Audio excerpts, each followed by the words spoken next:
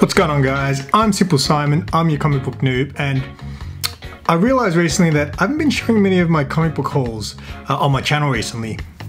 I've been doing comic book haul videos, I've just been mostly just putting them on Instagram as like an exclusive haul uh, in hopes that people might see it and be like, this guy's pretty entertaining, I might go check out his YouTube. Uh, but that hasn't really worked out. So yeah, I thought I'd do a haul video and maybe make this, I'll try to make this a weekly thing where I show you what I've picked up, not only for New Comic Book Day, but also other pickups off eBay or anything else I may have got. So yeah, this is this week's comic haul. Let's do this.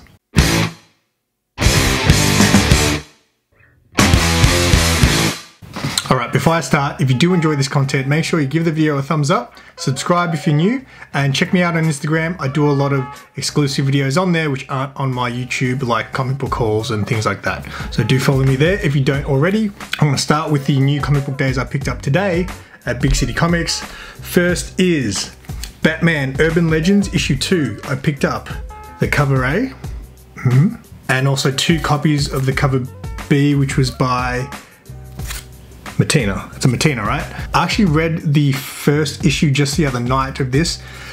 It's actually, um, I think what they call an anthology where there's multiple stories. There's about four stories, I think, in that first issue.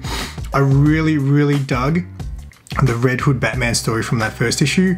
There was also a Harley Quinn Poison Ivy story, which um, I thought was okay, um, but yeah, really dug the Red Hood story uh, in Urban Legends, so I'm excited to read that. In fact, I'll probably read the that tonight. The next one is I picked up this. This is just covered by the Carnage. What is it called? Black, White, and Blood. Um, Gleason cover. Is this a variant? Yes, it is a variant.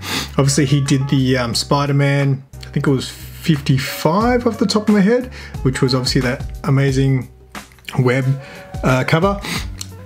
I thought this was really cool. There's also a Venom one, which I actually wasn't a big fan of because it just it just didn't look right. Um, the first Spider-Man one, the colors just looked spot on to look like spider webbing.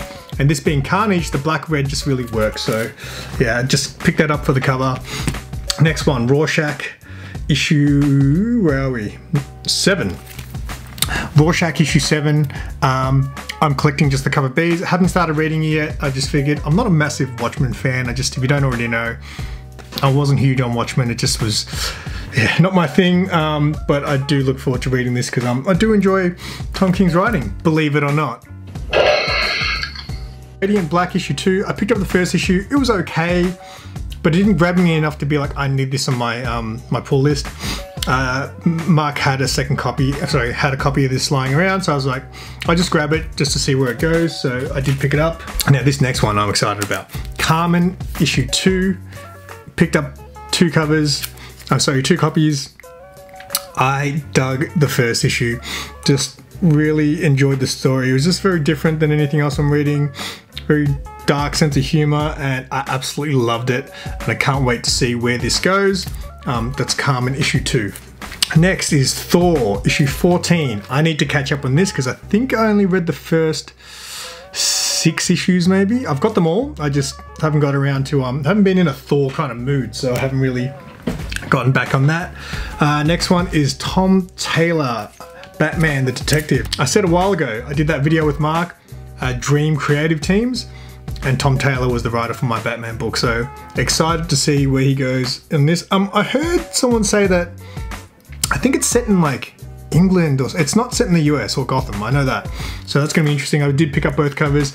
I'll probably try to get I wasn't definitely I wasn't gonna go with both covers. I just thought I'll get to I might get this signed if he's at the convention next time I go and uh, use that as a giveaway or something like that. So next one is The Joker issue two.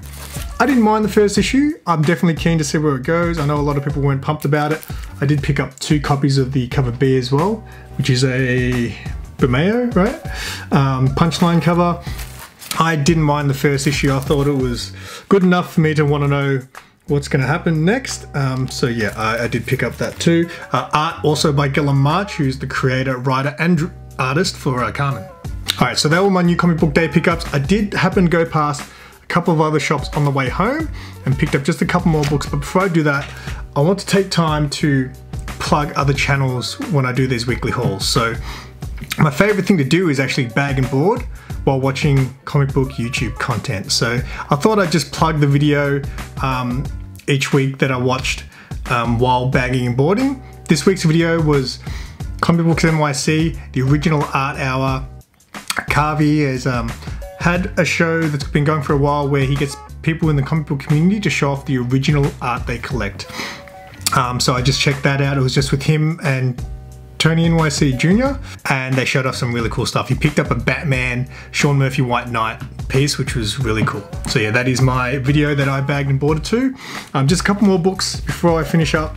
There's a little antique shop here I've mentioned in videos before called Chapel Street Bazaar, and they just have really old vintage sort of stuff. I happen to pick up a couple of things, just two comics today. One of them is a What If. I'm not huge on What If books, but this one I can get behind. What if Elektra had lived? It's got a nice little romantic cover there, so I thought I'd pick that up. Now this one I picked up because I'm pretty sure this is a key issue. I feel like it is. I've seen this book around a lot, and that is Ghost Rider issue 21. Uh, I'm not too sure what its significance is, but I figured it was in there. It was 10 bucks. It's not the best copy in the world, but yeah, why not, right? Uh, and then after that, I went past the shop called Comics R Us, uh, who are on the same street as Chapel Street Bazaar. Chapel Street. Uh, and I just picked up a couple of back issues of Deadly Class. Um, I'm trying to complete the whole run so I can continue reading it. I've read the first 11 issues, and it probably is my favorite comic book series, even though I've only read 11 issues. I just love what it's about. it's a very punk rock sort of feel to it as well. Uh, it's a really good series. I highly recommend it if you have not read it. And that is my books I picked up this. Oh, wait, no. I've got one more. I forgot. I got some mail. So um, I'll open this up. It's gonna be a live unboxing for you guys. All right, so you know what we need? Stanley knife. Boom, Stanley knife. All right, I'm pretty sure I know what this is. It's a book I've been wanting for a little while. It's nothing huge. Again, it's just a cover buy really. Yep, that's exactly what it is. So this is a Harley Quinn Valentine's Day special. There's three versions of this cover. And originally I wanted to buy all of them, but this is the main one. This is my favorite one of the lot, so I ended up picking this up. Um, really did that. It's a bondage cover, boys and girls.